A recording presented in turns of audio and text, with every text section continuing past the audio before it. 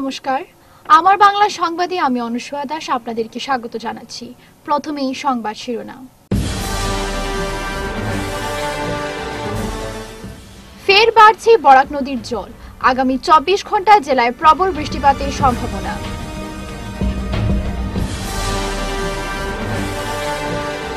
বার্মিট সুপারি সিন্ডিকেট। হাইলাকান্দিতে উদ্ধার পঁচিশ লক্ষ টাকার বার্মিট সুপারি।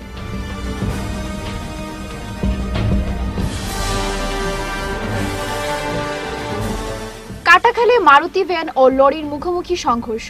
গুরুতর আহত দুই।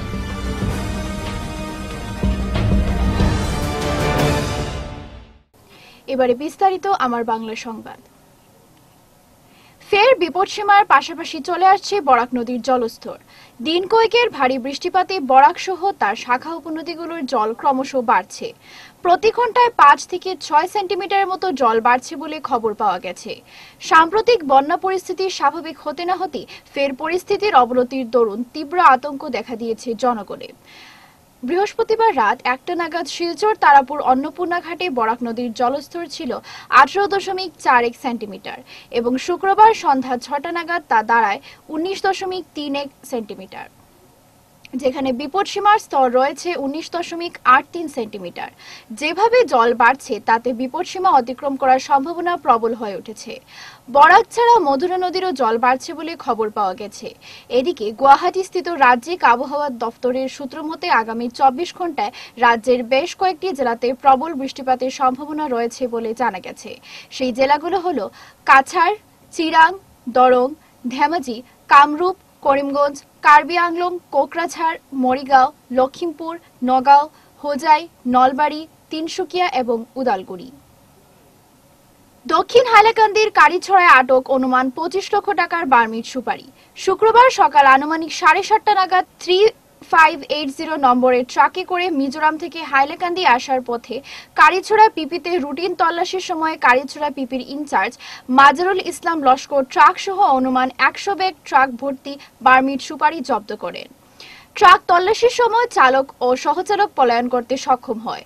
জব্দকৃত সুপারির বাজার মূল্য আনুমানিক পঁচিশ লক্ষ টাকা হবে বলে জানান ইনচার্জ মাজারুল ইসলাম লস্কর। বিগত কয়েক মাস অবৈধ ব্যবসায়ীরা বিভিন্ন পন্থা অবলম্বন করে মিজোরাম থেকে অবৈধ বার্মিট সুপারি পাচার করে আসছে। কখনো জলপথে তো কখনো স্থলপথে, আবার কখনো রেল বুকিং করে পার্শ্ববর্তী রাজ্যের মিজোরাম থেকে বহির্রাজ্যে ব্যবসা চালিয়ে যাচ্ছে। বিগত কয়েক মাস থেকে বার্মিট সুপারির সাথে জড়িত অবৈধ ব্যবসায়ীরা সুপারি পাচারের জন্য উঠে পড়ে লেগেছেন। অপরদিকে হাইলাকান্দি প্রশাসন বার্মিট সুপারি পাচার করা বন্ধ করতে তৎপর রয়েছে। বিগত কিছুদিন পূর্বে লালা থানার অন্তর্গত বিলাইপুর থেকে কয়েক লক্ষ টাকার বার্মিট সুপারি আটক করতে সক্ষম হয়েছে হাইলাকান্দি প্রশাসন। শুক্রবার কাক আসা মিজোরাম সীমান্তের দক্ষিণ হাইলাকান্দির রামনাথপুর হয়ে একসাথে তিনটি ট্রাক বার্মিট সুপারি নিয়ে হাইলাকান্দি অভিমুখে যাওয়ার পথে একটি ট্রাক কারিছড়া পিপির ইনচার্জ আটক করলেও অন্য দুটি বার্মিট সুপারি ভর্তি ট্রাক আবদুল্লাপুর পিপির কর্মীরা আটক করতে সক্ষম হয়। নিৰ্দেশ দিলে যে খাৰিচৰাৰ ফালৰ পৰা বাৰ্মিজ চুপাৰী গাড়ী আহি আছে, এই গাড়ীখিনি ৰখাব লাগে। সেইদৰে আমাৰ মাননীয় এছ পি মহোদয়ৰ নিৰ্দেশক্ৰমে আমি নাখা চেকিং ডিউটি লগালোঁ আমাৰ থানাৰ সন্মুখত আব্দুল্লাপুৰ পি পিৰ সন্মুখত। পিৰ সন্মুখত ডিউটি কৰি থকা অৱস্থাত এখন গাড়ী আহিবলৈ দেখা পালোঁ। দেখা পাই পেলাই গাড়ীখন আমি ৰখালোঁ। গাড়ীখন ৰখাই মেলি তাৰপিছত আমি চেকিং কৰিবলৈ যোৱাতে দেখা গ'ল যে ওপৰত আদা আৰু তলত বাৰ্মিজ চুপাৰী। তাৰপিছত আমি বাৰ্মিজ চুপাৰীখিনি এতিয়ালৈকে আমি গন্তি কৰা নাই। বৰষুণ হৈ কণ্টিনিউৱাছ বৰষুণ হৈ আছে। গতিকে আমি এতিয়ালৈকে কাউণ্ট কৰা নাই। ছখানে কোনো নিচানা হ'ব। বাজাৰ মূল্য কিমান হ'ব বজাৰ মূল্য এইটো কিমান হ'ব মই এতিয়াও নিৰ্ধাৰণ কৰিব পৰা নাই। আচ্ছা পিছত এইটো দিয়া যাব। কিন্তু আচলতে কথা হ'ল, আমাৰ মাননীয় এছ পি মহোদয়ৰ কড়া নিৰ্দেশ আছে যে আমাৰ হাইলাকান্দি ডিষ্ট্ৰিক্টৰ ভিতৰত কোনো ধৰণৰ বাৰ্মিজ চুপাৰী আহি সোমাব নোৱাৰে। সেইদৰে আমি অপৰাধীবিলাকে যিমানে কৌশলেৰে পদ্ধতিক্ৰমে বাৰ্মিজ চুপাৰী ল- আহে, আগৰ পৰাই আমি ধৰি আছোঁ, এতিয়াও আমি অভিযান চলাই আছোঁ, আমি ধৰিবলৈ সক্ষম হৈ আছোঁ। কাটাখালী ভয়াবহ সড়ক দুর্ঘটনায় গুরুতর আহত হলেন দুইজন। ঘটনাটি সংঘটিত হয়েছে শুক্রবার দুপুর দুটো নাগাদ কাটাখাল বাজার সংলগ্ন সাঁত্রিশ নং জাতীয় সড়কে। এ নিয়ে তীব্র চাঞ্চল্যের সৃষ্টি হয়েছে এলাকা জুড়ে। জানা গেছে, এদিন শিলচর থেকে করিমগঞ্জ অভিমুখে যাওয়া S S one zero A zero two six nine নম্বরের মারুতি ভ্যান এবং পাঁচ গ্রাম থেকে শিলচর অভিমুখে আসা NL zero one AT six four five six নম্বরের লরি। একই সঙ্গে কাটাকাল বাজার সংলগ্ন সাঁত্রিশ নং জাতীয় সড়কে মুখোমুখি সংঘর্ষ হলে মারুতি ভ্যানের সামনের অংশ দুমড়ে মুচড়ে যায়। দুর্ঘটনায় মারুতি ভেনে থাকা চালক ও এক যাত্রী গুরুতর আহত হন। পরে খবর পেয়ে কাটাখাল পুলিশ ফাঁড়ির ইনচার্জ সুদর্শন ভারতী দলবল নিয়ে ঘটনাস্থলে পৌঁছে ভ্যান চালক জালালউদ্দিন, বছর বত্রিশ, এবং যাত্রী জামালউদ্দিন, বয়স আঠাশ, আহত অবস্থায় উদ্ধার করে কালীনগরস্থিত সরোজিনী প্রাথমিক হাসপাতালে নিয়ে যান। সেখানে থাকা চিকিৎসকরা তাদের প্রাথমিক স্বাস্থ্যসেবা প্রদান করেন। তবে আহতদের অবস্থা সংকটজনক থাকায় চিকিৎসকরা তাদের উন্নত চিকিৎসার জন্য শিলচর মেডিকেল কলেজ ও হাসপাতালে পাঠিয়ে দেন বলে পুলিশ সূত্রে জানা গেছে। ড্রাগস বিক্রির বিরোধিতা করায় সোনাইয়ে মানবাধিকার কর্মীর উপর আক্রমণ চালালো দুষ্কৃতীদের এক দল। এই ঘটনায় গুরুতর আহত হলেন ধনীপুরের বাসিন্দা তথা মানবাধিকার কর্মী অফিসার আহমেদ চৌধুরী। বর্তমানে তিনি হাসপাতালে চিকিৎসাধীন অবস্থায় রয়েছেন।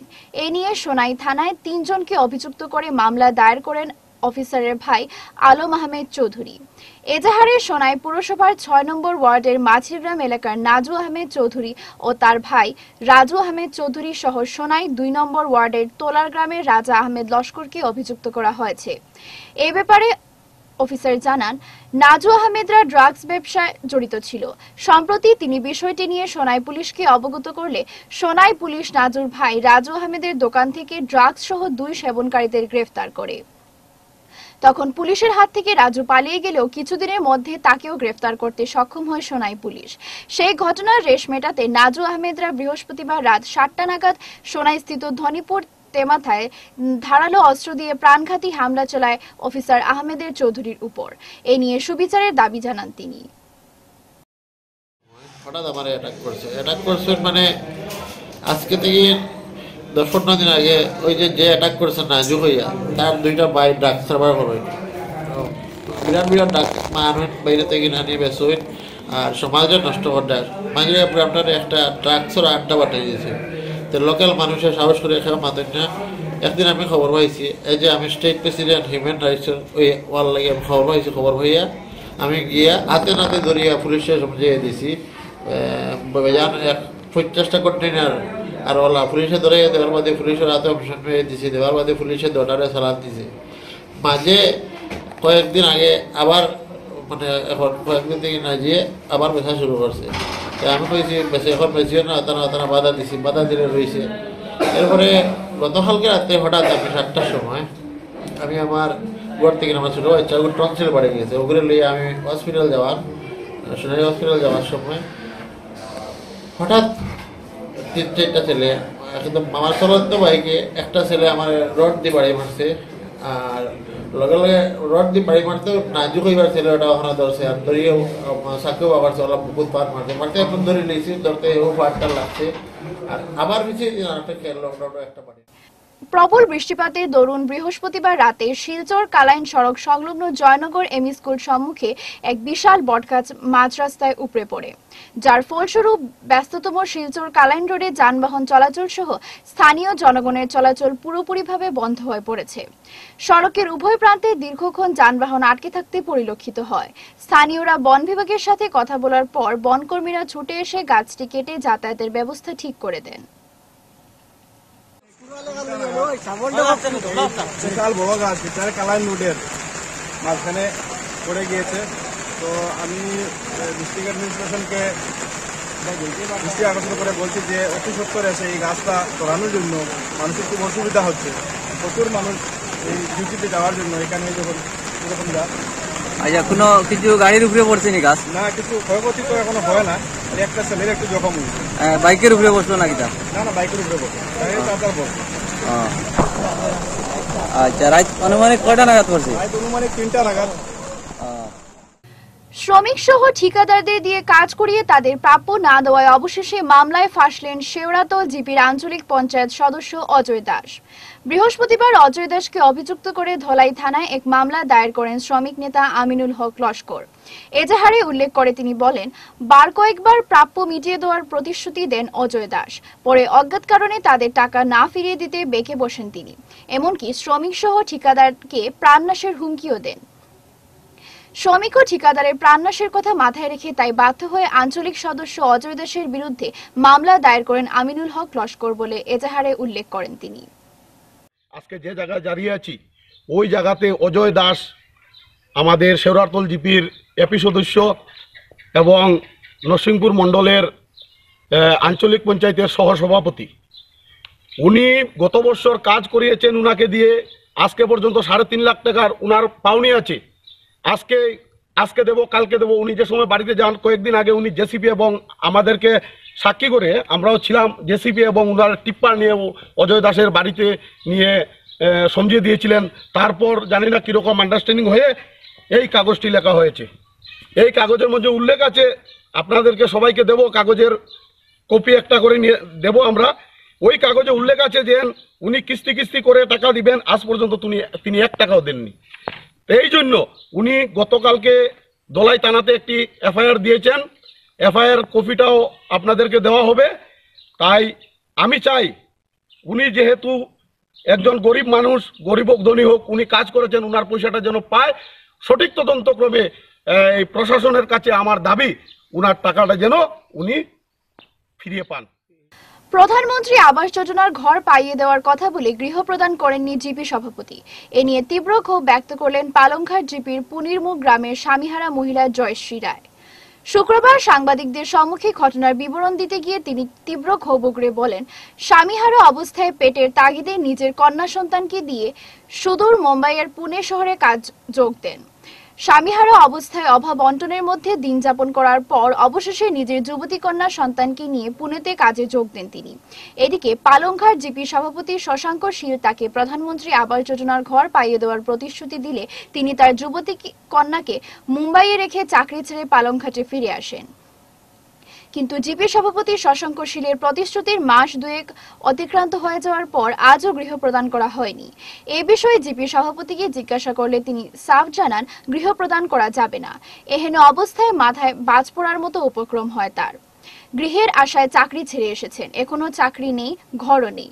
এদিকে যুবতী কন্যাকেও মুম্বাইয়ে ফেলে এসেছেন। এ নিয়ে তীব্র দুশ্চিন্তায় দিন কাটাচ্ছেন তিনি। পাশাপাশি বিষয়টি নিয়ে ন্যায় বিচারের দাবি জানান তিনি। জিপি সভাপতি সুশাঙ্কর ছিল ও কয় এখন তো হইতো না, এখন তোমার কমপ্লেন হয়ে গেছে। আমি বললাম, কি তার কমপ্লেন কে কমপ্লেন করছে? এটাই আমার কয় না। আজকে আবার দুই মাস হয়ে গেছে। আমার উপযুক্ত মেয়ে এখানে রাখি আইছি মুম্বাইত আমরা মায়ে মেয়ে কাম করি, তারা উঠিয়া কয়, আমরা পঞ্চাশ, ষাট হাজার টাকা কামাই আছে।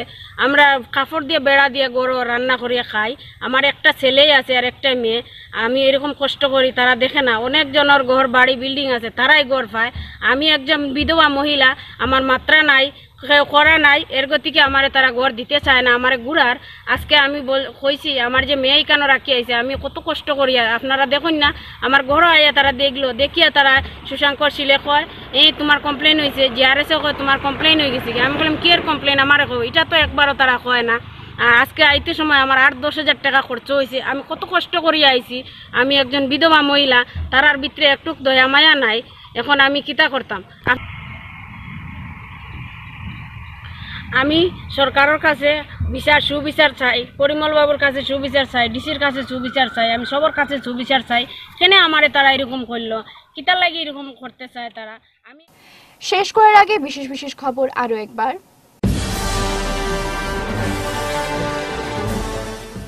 ফের বাড়ছে বরাক নদীর জল। আগামী চব্বিশ ঘণ্টা জেলায় প্রবল বৃষ্টিপাতের সম্ভাবনা।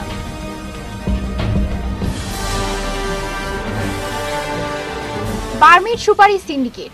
হাইলাকান্দিতে উদ্ধার পঁচিশ লক্ষ টাকার বার্মিট সুপারি।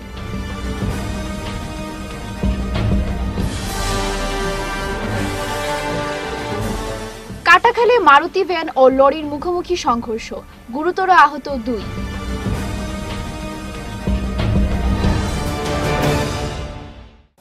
আজকের মতো আমার বাংলা সংবাদ এ পর্যন্তই। নমস্কার।